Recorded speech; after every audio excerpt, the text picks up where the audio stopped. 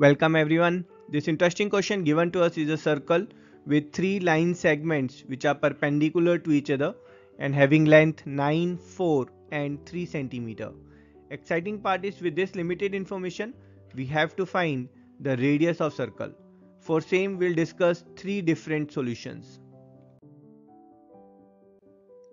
For our first solution let's extend BC to meet the circle at point E. Now let's join AE here. AE is subtending an angle of 90 degree at the circumference.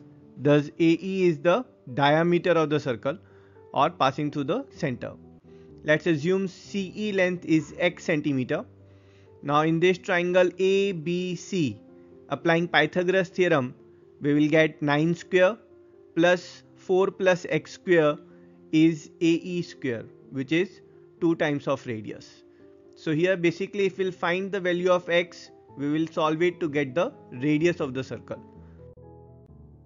To find value of x, let's draw perpendicular bisector of chord BA. And we know perpendicular bisector passes through the center of circle. And as it is uh, bisector, so this length will be 9 by 2 and 9 by 2. Let's extend DC here to meet the circle at point F. Now if you look at this quadrilateral it has got three angles as 90 degree. So it's a rectangle and thus this length here will be same as 9 by 2 centimeter. Now this particular chord it's passing through the center. So this is diameter of the circle and we know that circle is symmetrical across its diameter and thus this mirror image of this length will be same as 9 by 2 and 3 centimeter now with respect to circle if you see BE is a chord and DF is a chord. They are intersecting at point C and thus applying intersecting chord theorem we will get BC times CE is DC times CF.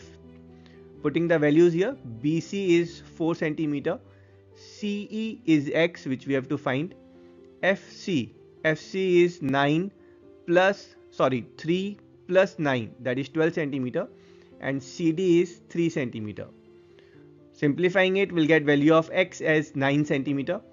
Putting this value of 9 here in the first equation we'll get 9 square plus 13 square is 2r square. Simplifying it we'll get value of r as square root of 62.5 centimeter or r is 7.91 centimeter and that's our answer. Let's check the second solution. For the second solution, we'll use the sine rule. It states that when we have a triangle with a circle circumscribing it, then the radius of the circumscribing circle can be found using this relation here. So for that, we have a upon sine a is equals to 2r. Now for sine rule, let's first join BD here and join AD here. So we have a triangle ABD here on which we can apply sine rule. So if we'll take this angle A here, we'll get BD upon sine A is 2R. So to find the value of R, basically we need to find value of BD and we need to find value of sine A. For BD, let's consider this triangle BCD. It's a right angle triangle. Applying Pythagoras theorem, we will get BD length as 5 centimeter. So BD length is 5 centimeter. Now we need to find sine A. So this angle A is there. We have to find sine A. So if we'll consider this right angle triangle, sine A will be perpendicular upon hypotenuse. So basically we need to find the value of this perpendicular here.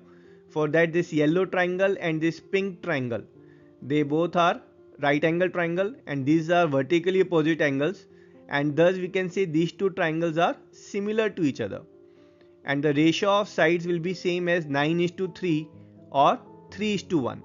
So basically this length will be 3 and this will be 1. We are splitting this 4 centimeter in ratio 3 is to 1.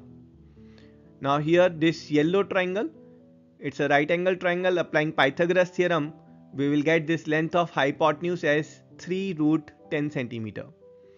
And sine A that's perpendicular upon hypotenuse, so it will be 3 upon 3 root 10 or sine A is 1 upon root 10. Putting these values here, we'll get 5 upon 1 upon root 10 is 2r.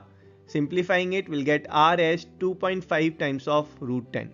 Solving it, we'll get r as 7.91 centimeter. And that's our answer. Now let's check the third solution. Let's assume the radius of the circle is r centimeter and from point O let's drop a perpendicular on chord AB and by theorem we know that perpendicular from the center bisects the chord. Let's extend DC to meet OE at point F. Now this quadrilateral it has got three angles as 90 degree so it's a rectangle. So we can say that CF length will be same as 4.5 and EF length will be same as 4 centimeter. Let's assume FO length as x centimeter now in this triangle AEO, applying Pythagoras theorem, we'll get 4.5 square plus 4 plus x square is r square. Opening the bracket, we'll get equation in this form. Now 20.25 and 16, that makes it 36.25. Now we have got equation in two variables, so we need one more equation to solve it. For that, let's consider the right angle triangle DFO. Now here applying Pythagoras theorem we will get 3 plus 4.5 that is 7.5 square plus x square is r square. So opening the bracket here 7.5 square is 56.25.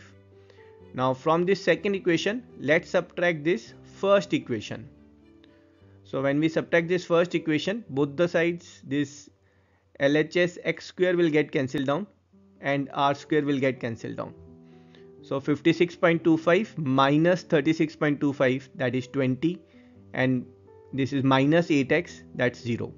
Solving it will get value of x as 2.5 centimeter. Now putting this value of x in this equation 56.25 plus x square equals to r square. So we'll get equation in this form. Solving it will get value of r as square root of 62.5 centimeter. On simplification we'll get value of r as 7.91 centimeter and that's our answer. I hope you enjoyed all the three solutions. I will see you in next video. Till then, tata, bye bye.